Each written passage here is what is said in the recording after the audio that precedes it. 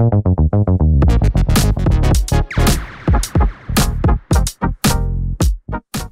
everyone, it's Nakul from Wicky. We've got episode two of BBL Super Coach Watch. Um, I was just saying to Sushane, I know it's getting it's getting a little bit chilly in India already. It's it's a perfect uh, spring day in Sydney at the moment. where we're sort of ready and well, we're ready to go. yeah, yeah, we are. Um, hi Nakul, hi everyone. Um, it's we're back on like pretty much a week later to record our second BBL Super Coach podcast these are the ones that I'm most keen on. Honestly, I mean, yeah, the cricket podcast there, and we're kind of keeping things ticking over. But this is this is fantasy. This is super coach. This is this is yeah. It's just this, this this is good fun. This is what we're here for. Yeah. Sweet. Okay. Well, we'll get straight into it. This episode, we're going to be focusing on trades. You know, we do generally say that you don't want to be planning out the whole season because obviously so many things can go wrong. But it is a nice opportunity from our point of view to just kind of like run you over. We're going to do. Th- we're going to aim for like thirty minute pods um, run you through some of our thoughts on what you can target early on and how your team might sort of go throughout the season. Um, I will very quickly say if you Google Wicky Linktree, the podcast that we're doing now on YouTube, or if you want to listen to it on various platforms, a bunch of NBA and NFL. Uh, we've got odds comparison tools now for both of those sports, podcasts for both of those sports. Uh, we've got WBBL and the Cricket World Cup semi-finals, India versus New Zealand, Australia versus South Africa. We'll have content for those games as well. So all the stuff that you usually want to check out with Wicky um, and obviously our Discord is all free, all ready to check out. We've got a bumper summer, Aussie summer coming up. Um, just Google Wicky Linktree. It's all free and ready to go. Let's get let's get straight into the pod. So Okay. We're sitting, at, we're sitting at sort of like roughly three weeks or just over three weeks now until the first game of the BBL. I was telling Shane that usually with the BBL, I, I, wait till a little bit closer to the season to plan just because of predicted teams and stuff. But this time, we've got the added benefit of having, having Shane on board. He's been pumping out a whole bunch of preseason stuff. And I thought, awesome opportunity for me to give myself an opportunity this year, uh, try to actually crack the top 100 or something a bit more impressive. And um, Sweet nice and early. So kick us off with um, That's the spirit. Uh, things trades. Yeah, so uh, trades. So I thought about, hey, we've been doing themes for the preseason podcast. Last week it was prices. This week it's trades. Um, the first thing that stands out with trades is just shorter season. Shorter season, nine rounds, 26 trades in all, just under three trades around as it is with Super Coach. Um, the shorter season brings, like, I think the shorter season brings up one very obvious burning question related to trades to related to trades. Uh, is this the season to use your trades aggressively? Uh, by aggressively, I mean just use your trades to ditch players who are not performing. Hmm. Uh, if someone doesn't turn up for even two or three games, that's like one third of the season this time, the BBL Supercoach season. Like, do you, uh, like just get rid? I think that's that's you know, uh, I think that's one of the things that jumps out right away. What do you reckon, Akul? Yep, I'll back you up on that. Um, so I'll say like I'm big on. I used to be big on like going my gut instinct and you know, oh, this season will have this player will have a breakout season, all that kind of stuff. But I think the fact that it is a shorter season and less rounds, l- less games and less rounds, there's also a, um, something to say for if that player that you've got isn't quite working out, you'll have an excuse to trade them anyway because you'll have to follow the highs and lows of who's got the double game weeks. Um, so I think that's even more incentive to, you know, if the person, if the player that you've backed in isn't performing and has like a single game week or a bye, it's like a no brainer. Just get rid of them. Whereas, you know, if you back someone in who's a bit of a pod, but they've got a double game week coming up, maybe you give them one last chance. So I feel like, again, you know, I think the recurring theme from last week, a lot of these decisions mm. are game is making for you. Yeah, 100%. I think um, uh, what you're saying, like, with the doubles and the byes is like really really important. And i think what uh, the, the sort of two things that we touched on right now in terms of well the because there are lots of players who have well there are players who have doubles in every round so there'll always be someone to go to. And the shorter season means you have no patience for underperformers. I think those two things are kind of they both i think fall under trading aggressively um, to sort of ditch the guys who aren't performing get in the guys who have doubles and just like really really attack the game. I think uh, the situations, like basically you mentioned both last week and this week, the situation's already there for you. It's already been created. You have doubles and you have all these byes. Half half the teams have been blocked off for you because of the because of the byes half the teams have been enabled for you because of the because of the doubles so maybe not think too much about it um, the only thing i will say to that is uh, i wonder if there's room for maybe a slightly different approach maybe like what i call the fine tuning approach in my show notes which i'm looking at right now so this is how this is how I see it. Okay, um, so it's a shorter season, which means there's lots of doubles and lots of byes. Uh, in fact, round eight is the only one without any doubles or byes. Um, now, if you set your team up carefully enough before the season, um, which means not going too hard on too many heat players early, essentially, that's that, that's what it means. Um, you can you could probably go a bunch of rounds where you just need to make like a couple of changes here and there in order to get like five or six players in that particular game, which would ensure that you have much greater coverage across the round. I mean, I'm sure you you've been in the situation before where let's say you have a four game round and you you you're like absolutely armed to the teeth for three out of those four games, but there's this random bottom of the table Renegades v Thunder game on like a and let's Thursday not make night, which you like the Renegades and Thunder. Come on now. um, yeah, where, where, you just have no coverage and you have like, or you have like maybe one Alex Hales or something like that. Um, and and you just have no interest in that game from a super coach point of view. But but then that's the game where I don't know. There's like a blowout performance, you know, and there's like like like a like a 75 or an 80 of 80 or 40 or something like that. And um, yeah, well, the, it's essentially. The, the, sorry, yes, I was going to say there's probably two things I could add there. You made two really good points there. You made uh, this isn't relevant to your exact point, but you made a really interesting note around. There's only one by uh, one round where there's no double game weeks. I've found in previous years um, when I have had the time to sit down and actually plan out a few weeks in advance, those ones are perfect to get out of who you're overstacked on and to get into who you want, obviously, for the next round. So that's one interesting thought, a thought that I had. The other thing is, I think this year, like now that Sushane's had a year of or a practice run last season, and you're obviously putting a lot more effort and you've got a lot more experience with Supercoach. I think this year, watching me and Sushane's teams will be really interesting because um, I assume we'll both go with our teams as per our personalities. So I usually love going. Um, and I was actually, you mentioned a point around, you know, if people are going hard on heat players early, there'll be a point where you need to offload heat players. Um, so my thought process with that was almost, we'll of course have to wait for predicted teams. And if the heat team is kind of crap and I, I can't even find six guys I like, then this might go out the window. But I'm even thinking of like going super, super hard on heat players, knowing that I think it's the strikers round two. Um, so I think like my thought process was like go super hard, like maybe like a six heat players, which seems like overkill, I know, but I feel like a lot of people like won't want to do that. Um, and just on on this note, very quickly, Ben from Honeyball, um, that Honeyball put out a, a, message today. There's a PM's eleven, or there's some sort of game that might affect round one. Mm. Michael Neser, you'd think would be a good shout for that game. So I think that'll sort of throw the cat amongst the pigeons a little bit as well. So um, most likely, I reckon I'll go a little bit risky early, go really hard on the heat, and then just like have a bit of a safety net and try to go hard on the strikers round two as well. It's probably going to cost me at some point, but um, I really loved. I think I told you guys. Uh, I told you, Sushane. I know that last BBL and this NRL BB uh, Super Coach and Fantasy season, I've come roughly top top one percent in all three.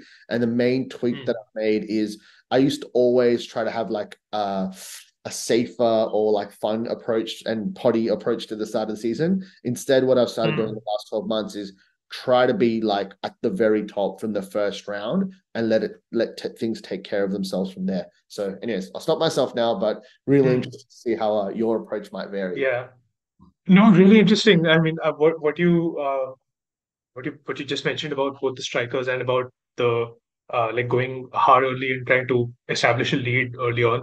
Uh, that actually, I think, I think you might find some value in the approach that I just laid out. Weirdly enough, counterintuitive though it sounds, my uh, my whole point being that uh, let's say that, that so there's one approach which you just mentioned, which is to go like four, five, six heat players at the start for round one. There's another approach which is what I just mentioned, the fine tuning approach, which is where you get let's say a couple of gates, a couple of stars, a couple of scorchers, a couple of sixers, maybe three heat, um, sort of like really, really balance it out so you're reasonably well covered for the doubles that are to come, which essentially means that, let's say, in round three, when both the stars and the renegades double, you could possibly have like seven, eight players if you use your trades, like if you use your trades, even if you just like use a couple of trades in uh, to bring in those guys ahead of that time, because you'll already be starting with Mm. three, four uh, renegades and heat players, uh, renegades and uh, stars players rather.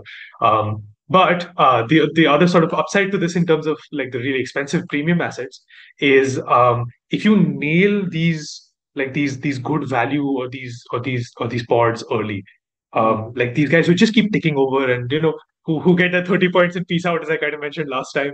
Um, but uh, if you nail those kinds of players, you know, the guys in the sort of like the 111Ks, 100 115Ks, those kinds of guys, 120Ks, um, and you have enough coverage across the round, you can then start attacking your doubles with the expensive trades. You know, um, this is what brings me to strikers in round two. Uh, you probably want more strikers than you want heat in round two, uh, just because of the double. And if you got to this, if you got to this balance with your team where you've managed to get, where you've managed to follow the fine tuning approach, you've got a couple of, um, you've got you've got a couple of renegades and scorchers, etc., etc., etc. Then you can um, like go aggressive and then just get in like a Matt Short and a Rashid Khan just for that double. Uh, you can go and get in like Jhye Richardson for the Scorchers double. You can get in, let's say, just just just go for Quinton de Kock and the Gates double in three. You know those kinds of things. Um, so I think it really enables you to spend those trades on the really premium assets who you can and and and the reason they're important is because they're legitimate captaincies in every round every, every round that you bring them in i think that's i think really important to emphasize I got two points on your next point. Um, I think you you mentioned like the overarching point is there's going to be a whole bunch of short form tournaments going on at that time, plus Australian national commitments and potentially like a whole bunch of international white ball tours. It, it there's a there's a whole bunch going on. Um, Honeyball is obviously a great uh great um page to check out in terms of going into detail about what's going on, which players might be missing, etc. Um, and I think your general point was like holding trades for those commitments and, and obviously like being wary of what's going on. Um, I think again we're gonna have yes, I do obviously think it's smart to have trades and, and be wary of what's going on. But again, I've gone the other approach in terms of like my thought process this year is with the shorter, less rounds, less Mm. etc.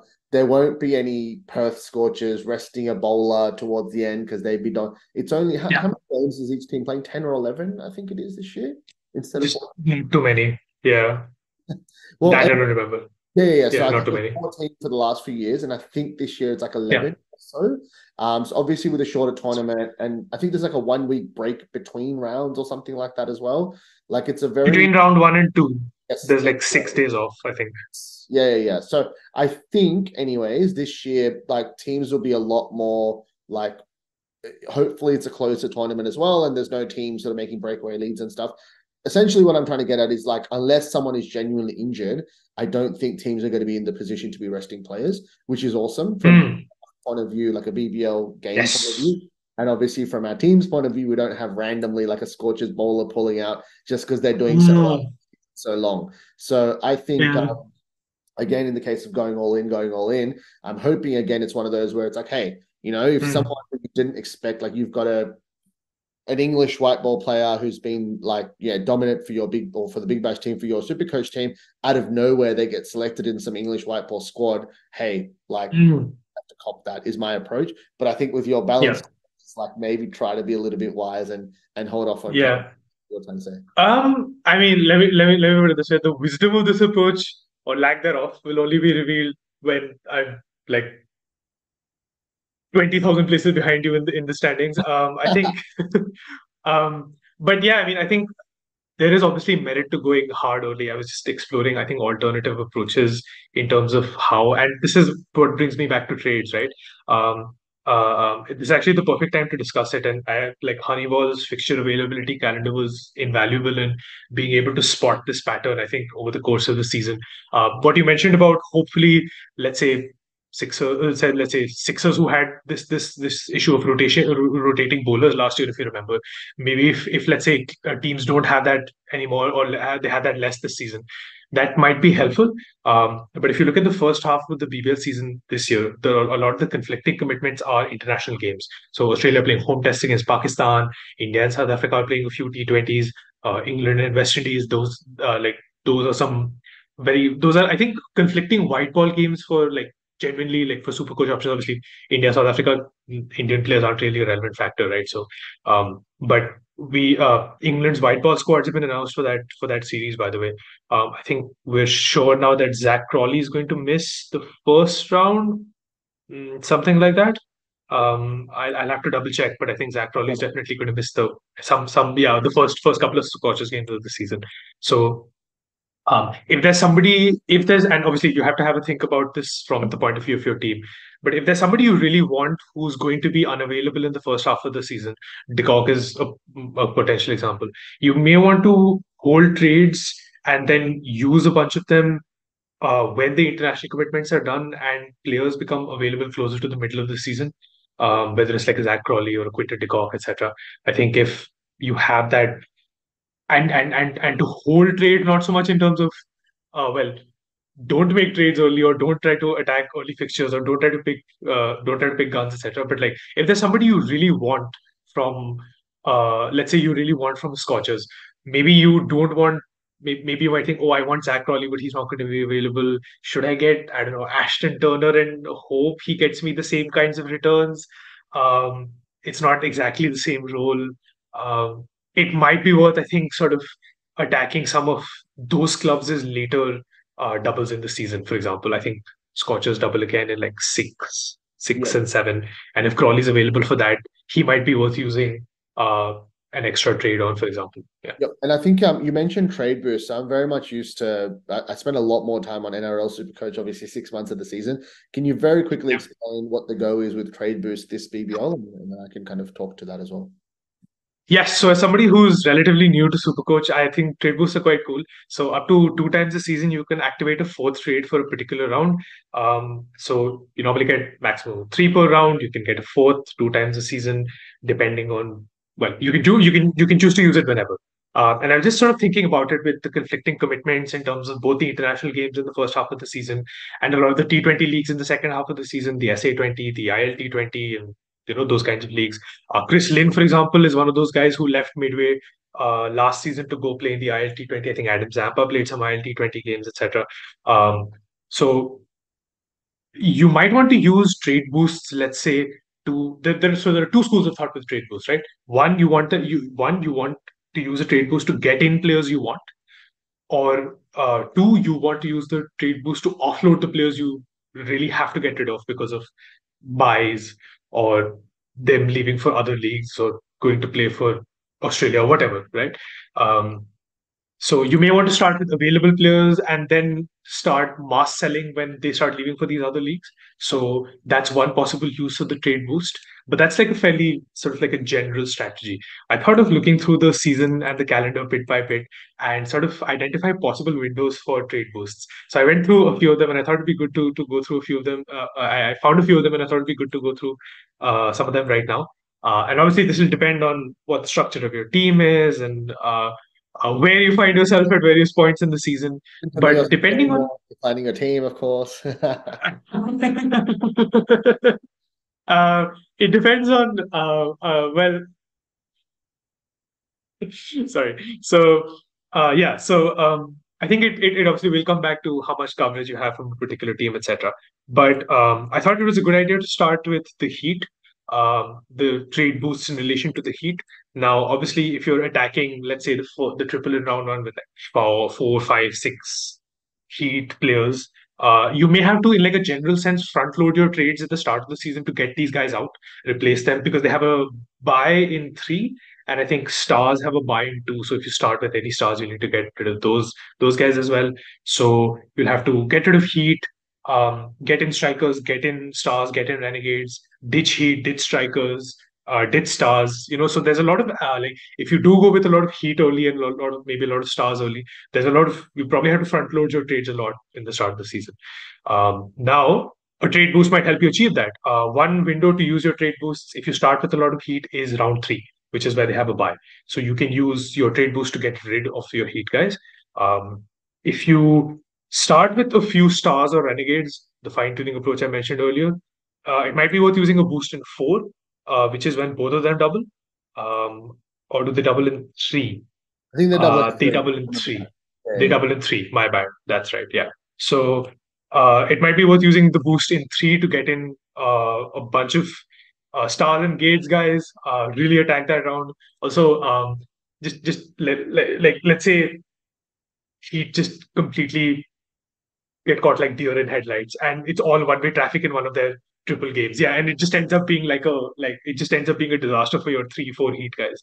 Um, one of the things with with using your trade boost to attack a, a round, which is round three, where two two games double, um, you're sort of almost spreading your risk across uh, two different games. So hopefully you'll get something out of it. You know, let's say you end up with six players across the stars and the gates. It's the same number as you might start in round one, but it's not the same club. So it's two different games, two different sets of conditions, two different sets of grounds, different sets of players, different potential form, etc., etc. Just to sort of keep alive that possibility. Um, the third possible window is if you start with scorchers and you hold them throughout the first few rounds. Uh, as you mentioned last time, they have a bye in four and in five. So you might want to use the boost to get rid of scorchers heading into four. So you use your fourth, you get rid of them, you'll be like you you you you you'll be in great shape heading into four, having got rid of your scorchers.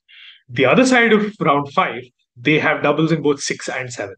So you may want to use your trade boost alternatively to get scorchers in for round six, or you might want to use both boosts uh, in that middle phase of the season get them out in four and get them back in again in six. That's on that. That sounds awesome. If if a team's got two doubles in a row, trying to get max and, and it's a gun team, trying to get their mm. play that little four game window. Um, the only thing that I would say, this is me sort of uh, overthinking things a little bit. Will someone like Jhye Richardson, Jhye Richardson, who's coming back from injury, will he play four games in what nine, ten days or whatever it ends up being? I'd be a little bit wary of that. And I know, like in previous years, that's something that I've struggled with. I was actually having a conversation on Twitter with someone, and they were saying, like, from a statistical point of view, bowlers and all rounders are obviously the best, then bowlers, then batsmen. And I was just saying that, like, like I'd obviously do all the other, like, think about everything else first and then if I was stuck at someone as a belt bowler or batsman, I like going the batsman just because it's just like such a a simpler watch and no stress about resting and mm. stuff. But from a like a numbers point of view, obviously bowlers are much more consistent. You get economy rate, dot balls, wickets are easier to get like get one or two of, etc., etc. Batsman could get you yeah. five and nothing else all day, right? So yeah, yeah, yeah. It's so funny. Like I'm the exact opposite. I would much rather captain bowlers. Like yes. I think I would, I would. There you go. I love it. Someone oh, start muting whenever I talk, or vice versa. oh no, I mean, I'm, I'm just thinking back to, and this has always been a thing with me, right? Uh, like I'm thinking back to like years and years and years ago when I used to play IPL fantasy, you know, and it was always for me, it was always like a Sunil Narine or like a Dwayne Bravo or you know, like when like at their peak when they were just guaranteed captaincies. I mean, if if uh, uh if you kids think uh, Rashid Khan is kind of like like a like a Sunil Narine was was a bit like that. Uh, yeah. Uh, where he was just this this gun spinner who was just nailed on to bowl four overs each time, and he almost became too successful for his own good, where they just started playing him out in kind of the same way that you do with Rashid right now. now. Right? Isn't that what happened to him last BBL? Isn't that why his price is uh, noticeably lower? Yeah, I think I think I think you're right. He's actually a lot more affordable now than um, mm. what he was last season, if I remember.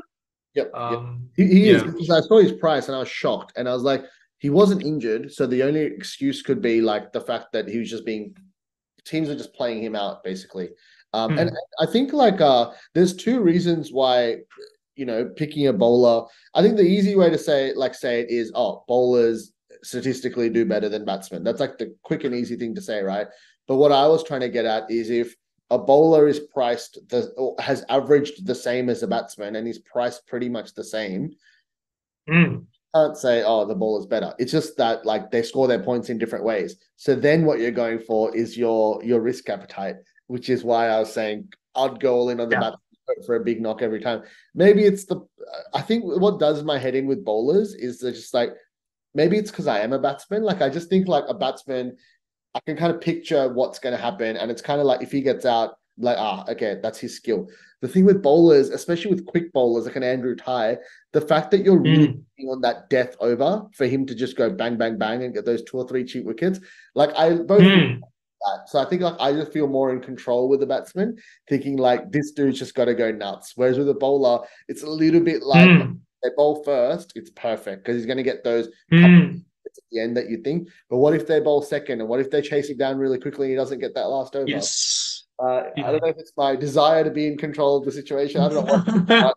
I do love the thought Yeah. Of Ben McDermott, like a, a guy who's capable of scoring hundreds, and you just know that he's going to flop and piss you off. But just that like expectation, mm-hmm. like, oh, he's my captain, I've got it all on the line.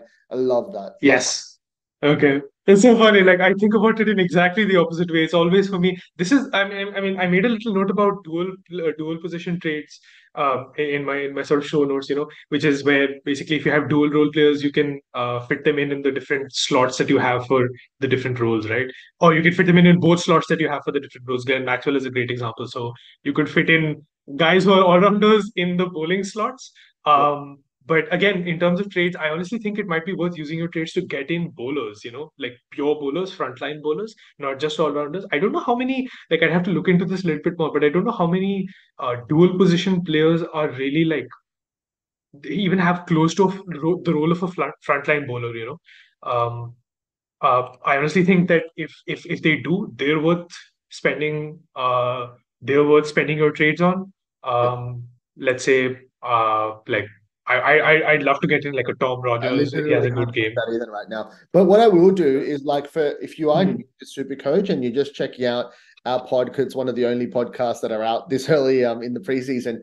I will say if you, if if I can just imagine like my Super Coach screen, I won't share my screen and stuff just now, but you got your batsmen at the top, your keepers and your bowlers, right? So what we're trying to say by like dual position trades is if you have like uh, a pure batsman, let's just say like an Alex Hales, right?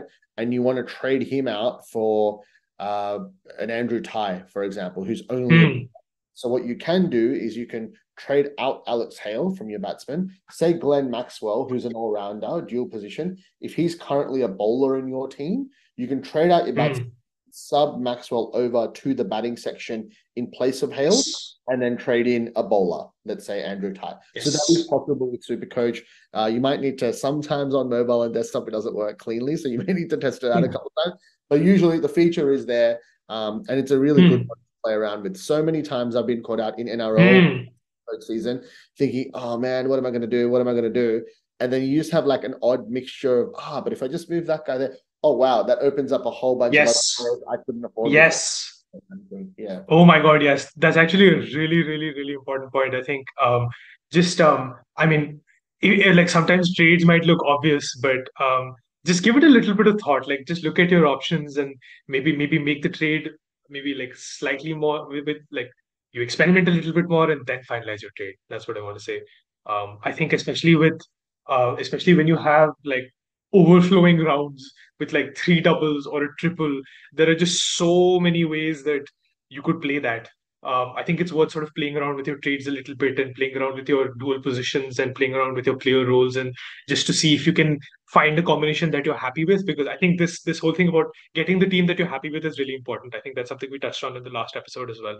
Um, you can get to a team that you're happy with even if you're not happy with the team currently, and your trade strategy might be central to achieving that happiness. And I was just going to say, like, I'm just moving away from trades just for a second. In in terms of um, I know as uh, like someone who uh, this early in the preseason, I usually don't make my first team, or if I do, like, I'll make it once and then I'll wait till a bit closer to have your teams to start really tinkering with my team. Um, but I, I had my first crack at making a team over the weekend. We'll do like a, a team reveal or something at some point, um, closer to the the season starting, so Shane. But uh, what I was going to say was when I started do, started to do my team, uh, I looked at the Honeyball um, calendar in terms of doubles, triples, byes, etc.